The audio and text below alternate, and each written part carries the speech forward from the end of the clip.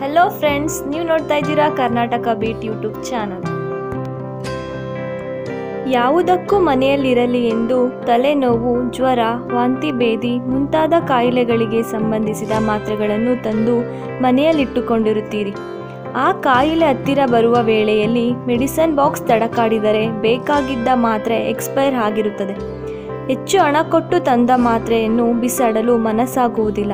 ಹಾಗಾಗಿ ಮಾತ್ರೆಗೇನು, ಡೇಟ್ ಎಲ್ಲ ಗೊತ್ತಾಗುತ್ತಾ? ಏನೂ ಆಗುವುದಿಲ್ಲ ಎಂದುಕೊಂಡು ಅದನ್ನು ನುಂಗೆ ಬಿಡುತ್ತೀರಿ ಆದರೆ ಎಕ್ಸ್ಪೈರಿ ಆದ ಮಾತ್ರೆ ನುಂಗಬಹುದಾ ಅಥವಾ ಎಸೆಯಬೇಕಿತ್ತಾ?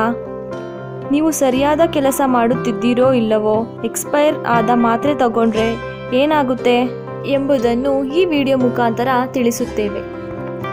ಎಲ್ಲ ಎಕ್ಸ್ಪೈರ್ ಆದ ಮಾತ್ರೆಗಳು ಅಡ್ಡ ಪರಿಣಾಮ ಬೀರದಿರಬಹುದು.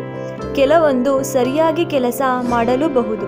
ಆದರೆ ಯಾವುದು ಸರಿಯಾಗಿದೆ, ಯಾವುದು ಸರಿಯಿಲ್ಲ ಎಂದು ತಿಳಿಯುವುದು ಅಸಾಧ್ಯ. ಹಾಗಾಗಿ ಅವಧಿ ಮುಗಿದ ಮಾತ್ರೆಗಳನ್ನು ತೆಗೆದುಕೊಳ್ಳುವುದು ನಿಮ್ಮ ಅನಾರೋಗ್ಯವನ್ನು ಮತ್ತೆ ಹೆಚ್ಚಿಸುತ್ತದೆ. ಒಂದು ವೇಳೆ ಮಾತ್ರೆಯು ದುಷ್ಪರಿಣಾಮ ಬೀರುತ್ತದೆ ಎಂದರೆ ಏನೆಲ್ಲ ಆಗಬಹುದು? ಮೊದಲನೆಯದಾಗಿ ಎಕ್ಸ್ಪೈರ್ ಆದ ಮಾತ್ರೆ ಪರಿಣಾಮವೇ ಬೀರದಿರಬಹುದು. ಅಂದರೆ, ನೀವು ಯಾವ ಸಮಸ್ಯೆಗಾಗಿ ಮಾತ್ರೆ ನುಂಗಿದ್ದೀರೋ ಅದಕ್ಕೆ ಏನು ಔಷಧ ಮಾಡದೆ ಕುಳಿತಂತಾಗುತ್ತದೆ. ಎರಡನೆಯದಾಗಿ, ಮಾತ್ರೆಯು ತೆಪ್ಪಗಿರದೆ ಸಮಸ್ಯೆ ಹೋಗಲಾಡಿಸುವ ಬದಲು ಉಲ್ಬಣಗೊಳಿಸಬಹುದು. ಮೂರನೆಯದಾಗಿ, ದೇಹದಲ್ಲಿ ಇಲ್ಲದ ಸಮಸ್ಯೆಗಳನ್ನು ಕೂಡ ಇವು ಹುಟ್ಟುಹಾಕುವ ಅಪಾಯವಿರುತ್ತದೆ.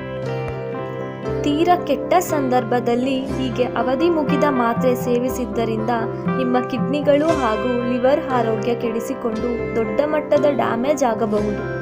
ಅದುವರೆಗೂ ಇಲ್ಲದ ಅಲರ್ಜಿಯು ಅಟಕಾಯಿಸಿಕೊಳ್ಳಬಹುದು. ಮಾತ್ರೆ ಏನಾದರೂ ನಿಮ್ಮ ಮೆಟಬಾಲಿಸಮ್ಗೆ ತೊಂದರೆ ನೀಡಿದರೆ ರೋಗ ನಿರೋಧಕ ವ್ಯವಸ್ಥೆ ಹದಗೆಡಬಹುದು.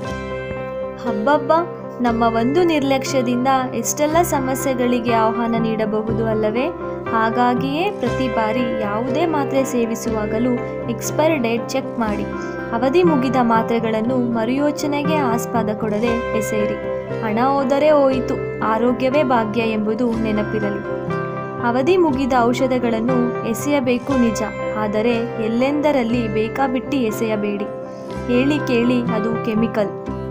ಪ್ರಾಣಿಗಳ ಹೊಟ್ಟೆಗೆ ಅಥವಾ ಮಕ್ಕಳ ಕೈಗೆ ಸಿಕ್ಕಿದರೆ ಅಪಾಯ. ಹಾಗಾಗಿಯೇ ಮಾತ್ರೆಯಾದರೆ ಅದನ್ನು ಕವರ್ ಸಮೇತ ಒಣಕಸಕ್ಕೆ ಹಾಕಿ. ಸಿರಪ್ ಆಗಿದ್ದರೆ ಅದನ್ನು ಟಾಯ್ಲೆಟ್ನಲ್ಲಿ ಸುರಿದು ಫ್ಲಶ್ ಮಾಡಿ. ಈ ವಿಡಿಯೋ ನಿಮಗೆ ಇಷ್ಟವಾದಲ್ಲಿ ಲೈಕ್ ಮಾಡಿ, ಶೇರ್ ಮಾಡಿ, ಸಬ್ಸ್ಕ್ರೈಬ್ ಮಾಡಿ ಹಾಗೂ ಪಕ್ಕದಲ್ಲಿರುವ ಬೆಲ್ ಬಟನನ್ನು ಪ್ರೆಸ್ ಮಾಡಿ. ಧನ್ಯವಾದಗಳು.